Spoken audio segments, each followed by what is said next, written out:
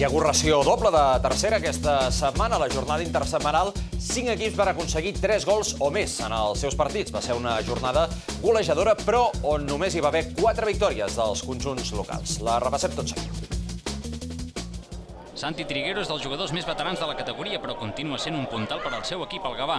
Dimecres va posar la por al cos de l'Espanyol B, però a la segona part els de Raúl Longhi van poder capgirar el marcador amb la participació dels seus homes de més talent. Pirulo va fer l'empat, Bacarí desviant una falta picada per Sergi Darder va posar l'Espanyol per davant en el marcador i el migcampista d'Artà va aconseguir el tercer. Amb intriga, el porter Manel havia pujat a rematar un córner i va deixar la porta desguarnida, però tot i la lentitud de la trajectòria, la pilota va entrar. El mateix guarisme es va donar al duel entre la Gramenet i l'Europa, que va servir als de Moia per respirar una mica. Els escapulats, en canvi, la derrota els va costar la seva posició a la zona de privilegi. Els colomencs van avançar-se ben aviat en el minut 4, però no va ser fins al segon temps que van sentenciar. Després que l'Eva li aturés un penal a Morales, el mateix jugador extremeny i Oriol Molins van establir un 3 a 0 demolidor per als europeistes.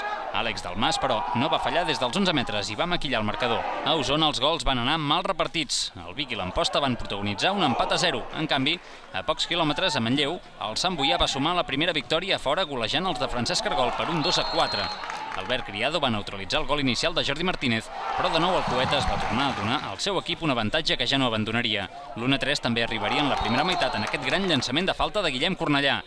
Els de Miguel López completarien el seu pòquer en una jugada afortunada que Cárdenas va transformar en l'1-4, mentre que Jordi Aumatell, amb el seu segon gol de la temporada, establiria el 2-4 definitiu. El Masnou va jugar contra el Rubí carregat de baixes i ho va acabar acusant. Els gols de Carles Montoro i de Rubén Epitier van donar la victòria als ballesans. L'encert d'Epitier potser li aniria bé al Vilanova, que va tornar a caure a casa en aquest cas contra un rival que pot ser directe, el Balaguer. Tots els gols van arribar en un interval d'un quart d'hora.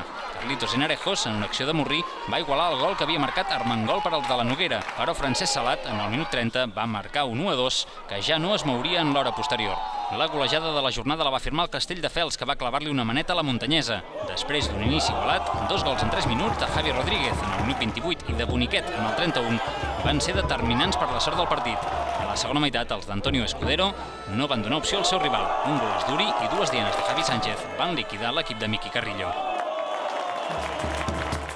Però el Castelldefels va gastar tota la potència golejadora a la jornada intersetmanal perquè hi va caure al camp d'un Vilafranca